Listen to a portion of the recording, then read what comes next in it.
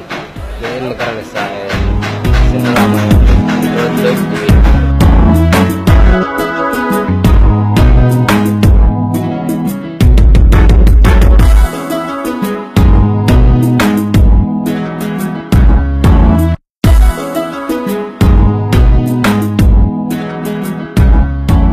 shaqadii dowladda hoos ahayd inay banayso waddada. Intaan shirkadu soo gaarin si aanay isu arag dadka iyo bulshada iyo shirkadda wax dhisaysa alxamdulilah waxaa ku guulaysan inaanu banayno cooshadihii iyo sanduqadihii ka dhisnaa waddada. Sidoo kale waxaa jira guryo ku jira waddada waxaana si wanaaga in dadweynaha reer boosaaso ay nala garteen gaar ahaan kuwa degan wadadaas in ay muhiim tahay in waddada la bannayo badankooda ay maqsuud ka yihiin sida aad waraysyada uga qaadeen. Dowladdu inay meesha ay damacdo inay bannayso muhiim tahay in loo fasilad garayo runtii aad iyo aad baan ugu mahad celinayaa dhammaan mulkiilayaasha guryahaas oo muddo dheer meesha ka dhisnaa. Haddana ogolaaday wixii waddada soo galay oo cabirkii waddada uu qabsaday in la bannayo si loo helo waddo mitirkeedu dhan yahay cabirkuna intii loogu talagala yahay. Gaadiidka waddooyinka xiranaya inay waktiga shaqada laga rawaxo ama qadada ay dejiyaan. Runtii waxaa jira wadooyin muhima oo halbowle ah magaalada oo xiran oo xireen gaadiid xamuula ama shirkado u dejinaya raashin ama sperbarty ama qalab agabku doono ha ahaadee. Waxaa muhiima in waktiga dadku ay shaqada ka rawaxaan oo wadooyinku bannaan yihiin waa muddo saddex saaca waa ku filan tahay in waddo la xiro waa wax weyn. Insha allahu tacaala waxaan ku rajo weynaa inay ku baraarugsanaadaan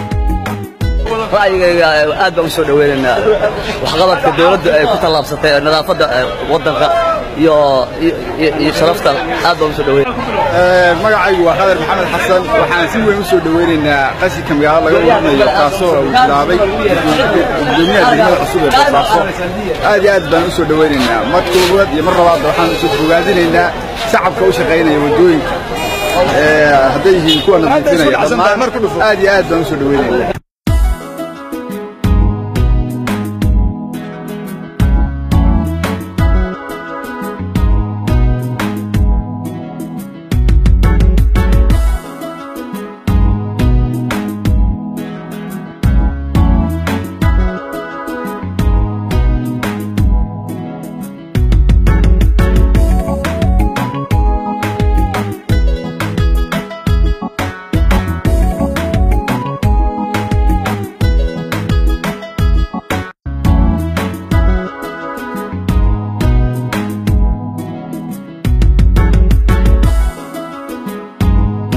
dhaweynaynaa inta laabiyada iyo waddooyinka waaweyn baan ka qaadnay waana wadaynaa insha allah bismillahi kariim intay nala gaadhana waa la arki doonaa.